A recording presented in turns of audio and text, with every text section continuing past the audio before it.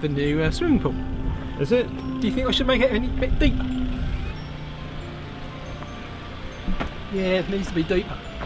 About to witness the last sod dug by Marty Grayling and Roger Daniels. Why, thank you.